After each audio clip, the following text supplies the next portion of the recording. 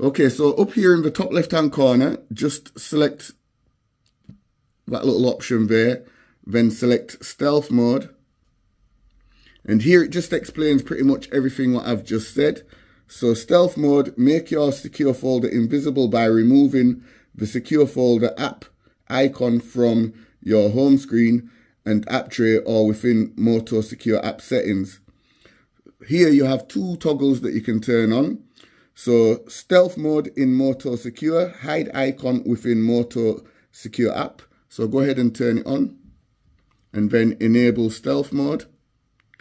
And then stealth mode in app tray, hide the icon on the app tray and share sheet. Go ahead and turn it on and then enable stealth mode. Okay, so now when I come out of there and